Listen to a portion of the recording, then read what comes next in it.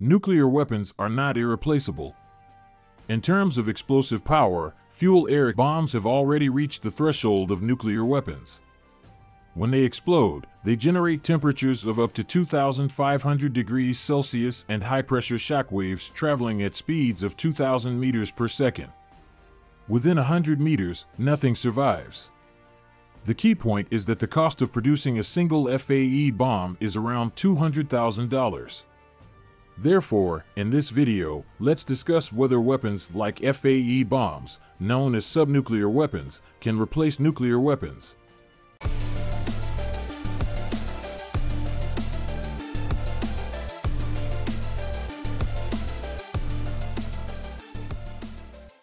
Compared to conventional bombs, FAE bombs do not contain high explosives. Instead, they contain liquid fuels such as ethylene oxide and ethane, which are highly volatile and flammable. The impact of 1 kilogram of fuel is equivalent to 5 kilograms of TNT explosion, and the range affected by the explosion is more extensive than the latter. In terms of explosive effects, FAE bombs generally require a secondary explosion. During the first explosion, the fuel inside the bomb is dispersed. In the process of dispersion, the fuel forms a fine mist of droplets and mixes with the surrounding air, creating an aerosol cloud with a higher density than the air.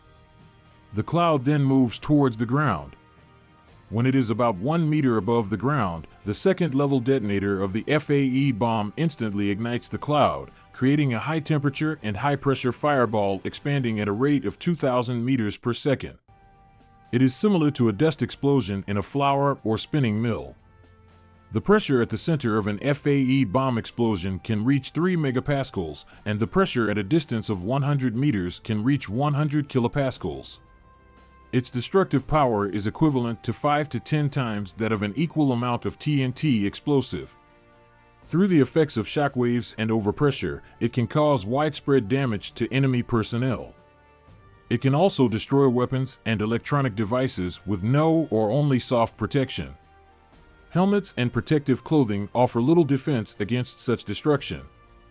A single FAE bomb explosion can create an excess pressure of 500 kilograms per square meter on an area the size of a fingertip. It can instantly render weapons within an 80 meter diameter useless and penetrate 4 meters of reinforced concrete. Its power is no less than that of a nuclear weapon. Moreover, during the explosion, FAE bombs can also create mushroom clouds. Russia previously released footage of the explosion of the father of all bombs, which leveled a four story building the moment the mushroom cloud formed. In addition, FAE bombs consume a large amount of oxygen from the surrounding area during the explosion, leading to severe oxygen deprivation for personnel nearby. Even tanks with good protection capabilities can experience engine failure due to oxygen deprivation. If the enemy manages to escape the damage caused by the shock wave, high temperature, and oxygen deprivation in a distant fortified position, they still have to face the problem of ultra-high pressure. The blast wave will rapidly propagate through the shelter, expanding after reflection, and there is no escape. As for whether FAE bombs can replace nuclear weapons, I believe there is absolutely no problem. FAE bombs were initially developed by the United States for the purpose of quickly clearing landing platforms for helicopters in the jungles of Vietnam. The most prominent example is the BLU 82, which was deployed by the MC-130H Special Transport Aircraft. It measures 5.37 meters in length and weighs 6,804 kilograms. Once detonated, it creates a vacuum kill zone with a diameter of 200 meters, reducing surrounding vegetation to ashes. The U.S. military later discovered the operational potential of FAE bombs and used them extensively in the Vietnam War. Subsequently, other countries also recognized the low cost and high efficiency nature of FAE bombs. The initial research was normal, focusing on aviation bombs. However, the research direction gradually shifted. Currently, they have evolved into missiles and rockets with FAE warheads. So far, three generations of FAE bombs have been developed. The first generation were developed in the early 1960s. Typical products include the US CBU 55, BLU 72, and the Russian ODAB 500 PM. These bombs could only be delivered by helicopters or slow flying aircraft and used dual initiation technology. Research on the second generation products began in 1972, focusing on improving delivery speed. Low speed aircraft delivery was replaced by high speed combat aircraft up to 830 kilometers per hour. Representative products include the US CBU 72 bomb, the helicopter delivered MADFAE cluster bomb, as well as the BLU 73, BLU 76, BLU 96, and other bombs. However, it should be noted that both the first generation in the 1960s and the second generation in the 1970s of FAE bombs required two detonations, resulting in low reliability of the weapon system. Therefore, improvements were made to the FAE bomb in the third generation as various countries sought to enhance its effectiveness. The currently active FAE bombs are mostly third generation variants from the 1980s. Starting from the mid 1970s, countries like the United States and Russia began researching the third generation of FAE bombs. They successfully changed the two stage detonation to a single stage detonation by utilizing pressure or chemical means to disseminate the fuel, allowing for a single detonation to achieve the desired effect. The deceleration parachute system was also eliminated, simplifying the bomb structure. Improvements in the detonation mechanism also helped reduce manufacturing costs and process complexity while increasing tactical flexibility. There have also been changes in the delivery methods. FAE bombs are not only airdropped but can also be projected from ground based equipment. Notable examples include the US made M72NE rocket and the Russian 9M555 rocket. The TOS 1, for instance, can launch unguided rockets fitted with FAE bomb warheads. Subsequently, submunition and guidance technologies were introduced, enhancing attack accuracy and lethality.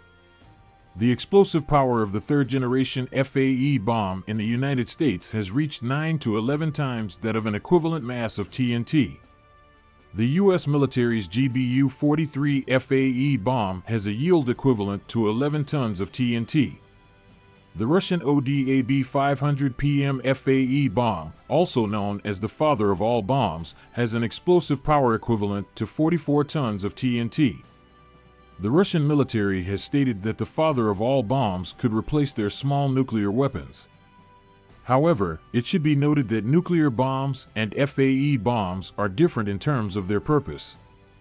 Nuclear bombs are not intended for use in warfare, but rather for ensuring mutual destruction, so there is currently no alternative to strategic nuclear weapons. FAE bombs cannot be used for strategic deterrence. As for tactical nuclear weapons, they have been effectively replaced due to the existence of precision guidance technology. The destructive power of a single FAE bomb, when accurately targeted, is greater than that of tactical nuclear weapons. In terms of manufacturing cost, FAE bombs are much cheaper compared to nuclear bombs. According to publicly available information from the U.S. Air Force, the unit cost of the GBU 43 FAE bomb is approximately $170,000. The key point is that FAE bombs can be used on the battlefield. There are currently no international conventions prohibiting the use of FAE bombs or similar weapons to attack military targets. However, it is important to note that even though FAE bombs have strong advantages, they also have significant drawbacks. The explosion effect can be influenced by weather conditions. In the case of strong winds or heavy rain, the aerosol cloud can be dispersed, resulting in a direct halving of the explosive effect. If the saturation level of the fuel-air mixture is insufficient, the bomb may even fail to detonate properly, requiring the launch of a separate rocket for a secondary explosion. Recognizing this limitation, the United States and the Soviet Union developed thermobaric weapons based on FAE bombs. Although the operational methods are similar, the effectiveness is vastly different. On December 2001, Edward C. Aldridge Jr., the Deputy Secretary of Defense of the United States at the time, announced that the United States had developed a new type of bomb called the thermobaric weapon, codenamed BLU 118B. With its destructive power, the BLU 118B replaced high explosive ordnance and could be used with the GBU 24, GBU 15, and AGM 130 air to ground missiles at that time. Initially, the Boeing produced F 15E was designated as the primary combat platform for delivering the thermobaric weapon, highlighting its significance within the U.S. military. As for the performance of the thermobaric weapon, it can be seen as an alternative to the FAE bomb. Essentially, it is also a type of fuel-air explosive with differences in its working principle, explosion effect, and application. The FAE bomb uses liquid fuel, while the thermobaric weapon uses solid fuel, typically containing powders of substances such as aluminum, boron, and magnesium.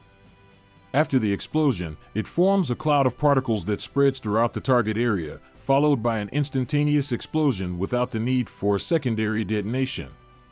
The explosive material contains oxidizers, generating higher temperatures and pressures than the FAE bomb. Compared to the FAE bomb, the thermobaric weapon has significantly reduced requirements regarding terrain and weather conditions, and its structure is simpler.